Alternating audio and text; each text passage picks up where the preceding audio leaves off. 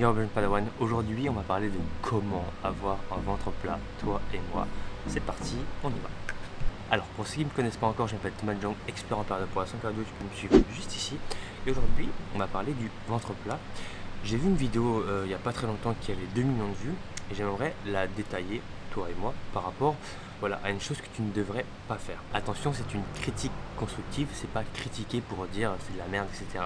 J'essaie d'apporter justement une vision différente et d'apporter bah, la science par rapport à ça pour te démontrer que bah, ce que tu veux faire pour perdre du poids, entre guillemets, c'est pas très bon actuellement. Donc on va voir ça ensemble.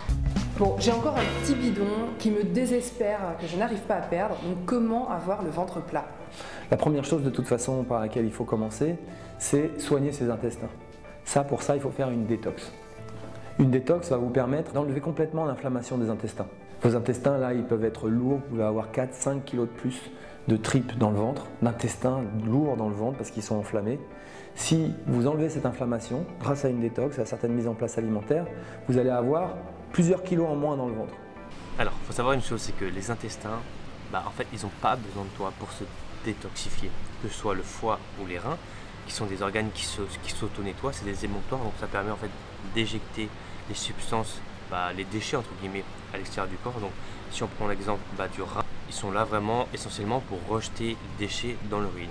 À l'inverse, le foie, lui en fait, va faire plusieurs réactions chimiques qui va permettre justement d'éjecter ces substances dites toxiques à travers la bile ou l'urine. En fait, on remarque globalement que bah, tes organes s'occupent très bien d'eux-mêmes, donc ils n'ont pas besoin de te faire des détox, des jus, machin chouette, parce qu'au final, bah, tu n'en as pas besoin. D'ailleurs, autre chose par rapport à la détox, c'est qu'en fait, euh, la question à se poser, c'est qu'est-ce que tu détoxes vraiment? Quelle est la toxine que tu vas enlever? C'est quoi la toxine Tu vois? En fait, les gens qui te prônent la détox, bah, ils en savent rien, tu vois? Donc ça, arrête de te prendre la tête par rapport à la détox le facteur numéro un pour perdre ton ventre, c'est ton déficit calorique. C'est pas les kilos que tu as dans tes intestins ou dans tes bras ou dans ta tête ou dans tes cheveux, tu vois. Ça, c'est du vent. Ensuite, du coup, maintenant, on va voir la deuxième partie de la vidéo qui est aussi très intéressante. Donc, on va la voir ensemble par rapport, encore une fois, à comment avoir un ventre plat, notamment par rapport aux exercices. Et concrètement, quel genre d'exercice je dois faire? On va se mettre à faire des exercices globaux qui sollicitent énormément la sangle abdo-lombaire, qui mobilise toute la ceinture abdo-lombaire. Alors ces exercices sont les squats, les fentes, euh, les fentes dynamiques, les pompes, le breakdance, les roulettes aussi, ce qu'on appelle le mouvement du grimpeur. Ça, ça sollicite énormément la ceinture abdo-lombaire et ça sollicite tout le corps en même temps.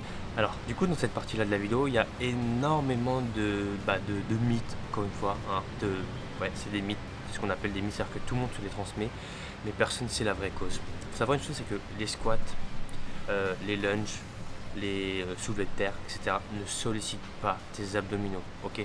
Je peux te montrer un graphique juste ici, des études qui montrent justement l'activation des abdominaux par rapport à différents exercices. Tu vas activer beaucoup plus tes abdominaux en faisant un développé épaule comme ceci à la barre que en faisant un squat et un soulevé de terre. Donc encore une fois, la vidéo montre que globalement, bah, dire ça c'est infondé. Donc au final, si tu veux focus sur ton ventre, ce qu'il a bien dit, ça va être des exercices de gainage, ok, gainage dynamique, stomach vacuum ou gainage statique, peu importe. Ça, ça va être intéressant. Mais en soi, faire des squats, du soulevé de terre, des lunges, enfin, qu'importe les exercices dits globaux, n'active pas spécialement énormément ta sangle abdominale. Si vraiment tu veux activer tes abdominaux, bah, fais les abdominaux, tu vois, ni plus ni moins. Mais le problème, encore une fois, que je tiens à te dire, c'est que si tu fais des crunchs, des exercices pour euh, stimuler tes abdominaux, donc euh, crunch, relever de jambes à la barre, enfin tous ces exercices-là, bah, en fait tu vas les hypertrophier, donc tu vas les faire gonfler. Pourquoi? Bah, C'est le même principe en gros que quand tu fais de la musculation. Si tu fais ça, le but quand tu fais ça, c'est de développer ton bras. donc c'est de grossir forcément par la même occasion. Donc c'est pas de s'affiner. Quand tu viens travailler ton muscle, tu ne peux pas l'affiner. quand tu travailles ton muscle, justement, tu viens le grossir, tu viens l'hypertrophier. À part si tu fais de l'endurance. Mais là, c'est une autre chose. Donc au final, voilà, si jamais tu veux perdre du ventre, t'as pas besoin de faire de détox, t'as pas besoin de boire des jus verts, t'as pas besoin... Euh, ouais, tous ces trucs-là, c'est du bullshit. Ok, en fait, le problème actuellement, c'est de penser que tu as besoin d'une détox. Toi, tu vas te focaliser dessus et l'effet placebo va marcher. Donc à partir du moment où forcément tu enlèves les aliments pourris de ton alimentation, donc euh, les pépitos, les Oreos, les Kinder Pingui, enfin tout ce que tu veux, bien là forcément tu vas commencer à perdre du poids. Mais pas par rapport au fait que tu fais une détox, par rapport au fait que tu ne manges plus tes conneries. Ce qui est différent. Donc voilà. Première chose, focalise-toi sur ton déficit calorique. Deuxième chose, travaille tes abdominaux si jamais tu en as envie. Mais facteur numéro un, c'est ton déficit calorique. Donc si jamais tu veux perdre ton ventre, fais attention à ce que tu manges, ça reste le facteur numéro un. L'activité sportive en soi vient permettre de te muscler, d'avoir la barre au ventre ou des abdos dessinés si jamais tu en veux. Mais voilà, ni plus ni moins. En tout cas, j'espère que ce format vidéo t'aura plu. N'hésite pas à me dire ce que tu en penses. Encore une fois, je n'attaque pas la personne. Je n'ai rien contre Erwan, Evan, je sais pas comment il s'appelle. Euh, voilà, encore une fois, je viens essayer de faire une critique constructive par rapport à un fait, et non à une personne. Et je ne dis pas que ces trucs sont de la merde, je dis juste que ça, le point qu'il évoque, bah c'est pas vrai. Voilà, ni plus ni moins. Tu peux retrouver les études juste en dessous télécharger mes 7 astuces pour pas avoir de poids, me mettre un petit pouce jaune. Et je te dis à bientôt d'ici là, porte bien.